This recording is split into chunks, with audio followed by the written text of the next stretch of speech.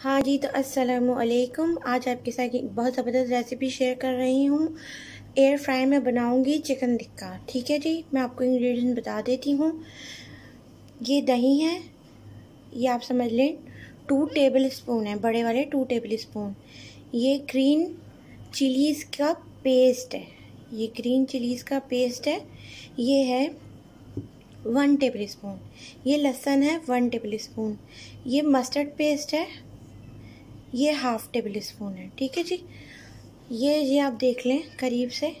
नमक है हसब ज़ायका लाल मिर्च पाउडर है हाफ़ टी स्पून ज़ीरा भी हाफ़ टी स्पून काली मिर्ची भी हाफ़ टी स्पून और ये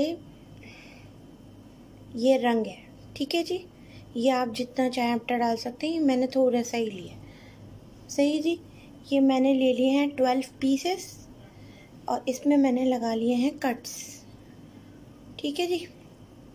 मैं पपीता नहीं लगाऊँगी क्योंकि मैं इसको एयर फ्रायर में तैयार करूँगी तो मैं इसमें पपीता नहीं लगाऊँगी। और इसमें ऑयल भी नहीं डालूँगी, सिर्फ़ ऊपर से ब्रशिंग ही करूँगी मैं। ठीक है जी? अब मैं इसको बनाना शुरू करती हूँ। है सही? ये देखें। ये मैंने ले लिया बाउल बड़ा सा। मैंने इसमें डाल ली दही। मस्टर्ड पेस्ट ये मैं बाद में साफ़ करके डाल दूँगी। आप देखते जाएँ ये लहसुन है। ये हरी चटनी का पेस्ट है। हरी चटनी कह रही हूँ सॉरी हरी मिर्चों का पेस्ट है। ठीक है जी। ये मेरे ड्राई इंग्रेडिएंट्स हैं।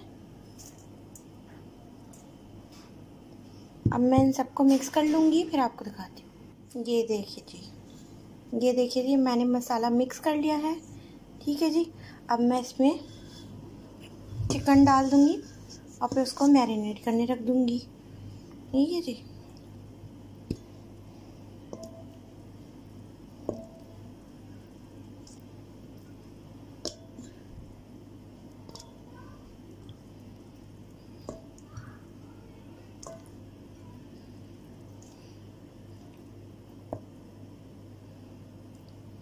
ठीक है जी। अब मैं इसको मिक्स करती हूँ, फिर आपको दिखाती हूँ। ये जी ये जी देखिए, मसाला लग गया है। सही है जी। अब मैं इसको दो घंटे के लिए छोड़ दूँगी और फिर जब मैं एयर फ्राई करूँगी, तब मैं आपको दिखाऊँगी। ठीक है जी। अच्छा जी तो मैरिनेशन पूरी हो गई है। अब हम इसको अपने एयर फ्रायर में फ्राई करेंगे। ठीक है जी। मैं आपको टाइमर टाइमिंग भी बताऊँगी और ये भी बताऊँगी कि कितनी देर रखना है। सिर्फ़ एक लेयर लगानी है आपने। डबल लेयर नहीं करनी, नहीं तो चिकन नहीं सीखेगी। और आपने एयर फ्रायर में कोई भी चीज़ बनानी हो तो उसमें आपने वन लेयर ही रखनी है। ठीक है जी।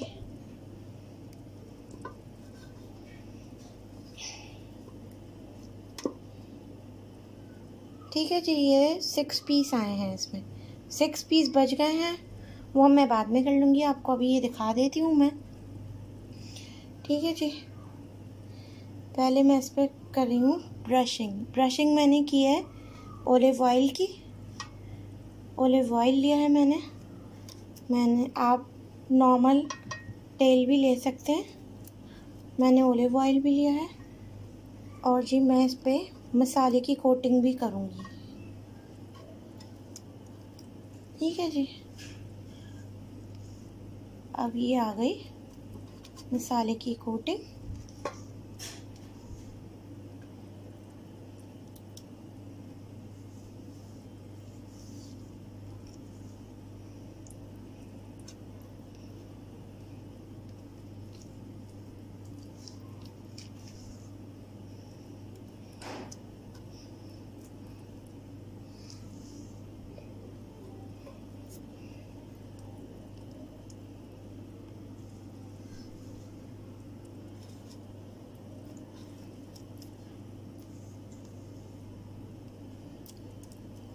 ये देखें।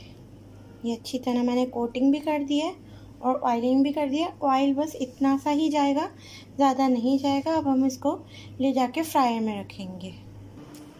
अच्छा जी तो देखें ये एयर फ्रायर है और मैं अब इसको एयर फ्रायर के अंदर रख रही हूँ और मैं इसका टाइमर सेट करी हूँ। ये 180 पे सॉरी ये 180 पे जाएगा। ये यहाँ लिखा हुआ है इसमें सब कुछ। जी ये चिकन है वन 180 पे 15 टू 20 मिनट्स तो मैं जी 20 मिनट का टाइमर लगाऊँगी, क्योंकि हमारा हड्डी वाला चिकन है। ठीक है जी, फिर रेडी होता है तो आपको दिखा हमारा टाइमर बंद हो गया है। अब हम इसको निकाल लेंगे। देखिए, कितना ज़बरदस्त कलर आया है। अब हम इसको डिश आउट करके दिखाते हैं आपको। ये देखिए, कितना खूबसूरत कलर आया है। कितना प्यारा कलर ये देखें। मैं आपको निकाल के और तोड़ के भी दिखाती हूँ आपको कि ये कितनी अच्छी गल गई है। अच्छा जी तो सेफ्टी कम फ़र्स्ट ठीक है जी।